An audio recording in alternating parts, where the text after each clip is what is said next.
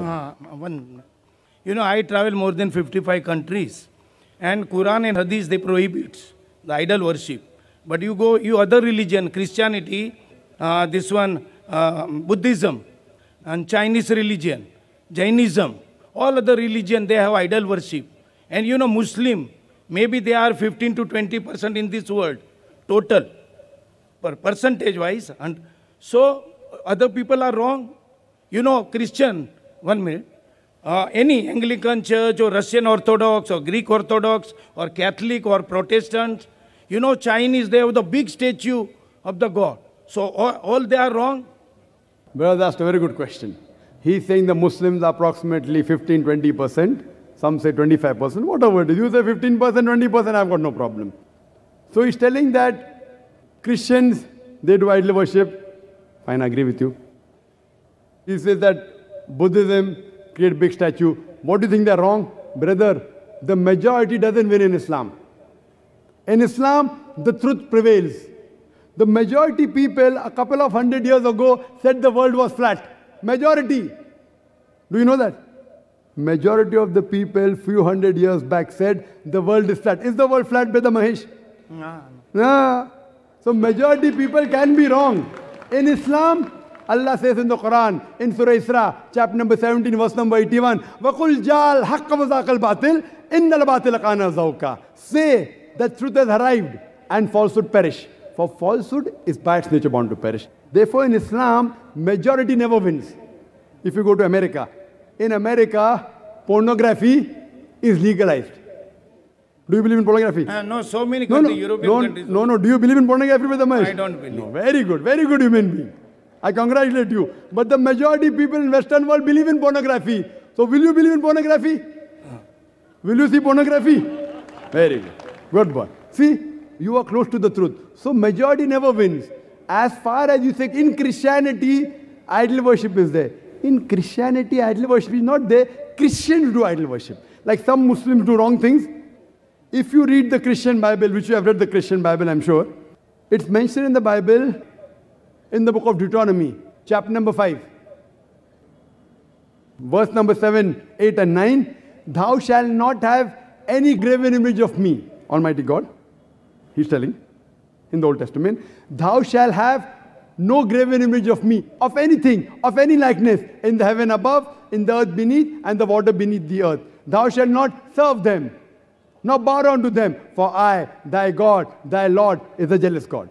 Same message repeated in the book of Exodus, chapter number 20, verse number 3 to 5, that thou shalt have no graven image of me, of anything, of any likeness, in the heaven above, in the earth beneath, in the water beneath the earth. Thou shalt not bow down to them, nor serve them, for I, thy God, thy Lord, is a jealous God. So according to the Old Testament, idol worship is prohibited.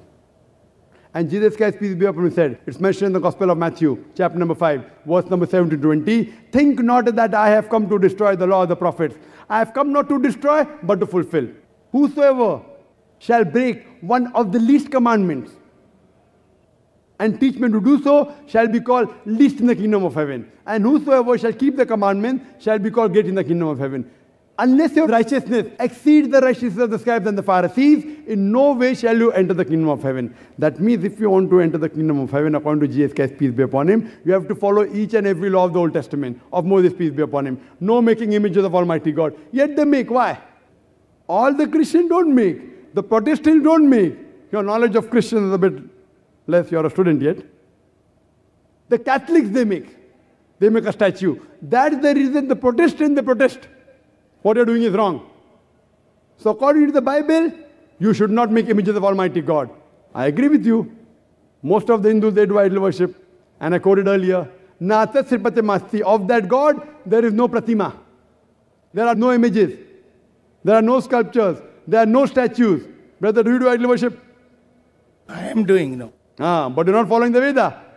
Because I believe in all religion, all they are believe same. all the You know, God knows because, you know, God knows this, all religion. You whether don't if you are believing in all the religions, that thing. means irrespective whether you are following other religion or not, you are not following Hinduism. Brother, you are not No, following Hinduism. What I am telling you, God is sleeping now. He knows everything. He created all the earth and heaven. So he knows every religion have their own place. like Islam. Brother, let's ask one question at a time.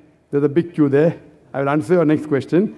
After that, go behind the queue. You are most welcome to ask your. Fine? You ask that, is God sleeping? Allah gives this answer in the Quran, in Surah Baqarah, chapter number 2, verse number 255. Allah says, Allahu la ilaha hayyul qayyum, la ta'khudhu wa la nawm. That Allah is eternal, absolute, He self-subsisting. He does not require to sleep. No slumber can seize him, nor does he require rest. You and I require to sleep. You and I require rest. God does not require to sleep. Allah clearly says in the Quran, if He wanted, He could have made each and every human being except Islam submit to the will. If He wanted, very easy, just kun fayakun. But this is a test for the hereafter. God is testing you. God is testing me. If God wants, He can easily make you not do idol worship. But where is the test? The test is God has given you the rules. Now, do you follow the rule or not? You say you follow all the religions. You're not following Hinduism. You're not following Islam. You're not following Christianity. You're not following Sikhism. You're not following Buddhism. Buddhism, quote me any reference from Dhammapad, from any Buddhist scriptures where Buddha said, make a statue of me. He never said that. Where did he say that? Tomorrow, suppose, tomorrow, if any Muslim makes a statue of Prophet Muhammad, peace be upon him, if he makes a statue and calls the Muslim, I say it's wrong. The Prophet never said to make a statue of him. So just because someone diverts and does the wrong thing, whether he's in minority or majority, that does not become the truth. Buddha never said make a statue of him. So if someone is against the Buddhist sculptures, they are helping the Buddhists follow the religion. So just because they made a big statue of Buddha, that does not mean they're following Buddha. Therefore I said, if you want to understand religion, don't look at followers. Brother Mahesh, don't look at me. Look at the scriptures. Look at the Quran. Read the Quran. Read the Veda. At least what is common, follow. What is not common, keep it aside. If you say you follow all the religions, you're not following Hinduism. You're not following Christianity. You're not following Islam. Leave aside all. I am requesting you at least follow what is common. What is not common, you can discuss later on. You are not even following what is common. Leave aside following all the religions. So the day you stop doing idol worship, then I can say at least you're following one major part of all the religions. The day you believe in Prophet Muhammad, peace be upon him, as the last messenger, then I can say you're following the two major pillars in most of the major religions. Hope that answers the question. Okay.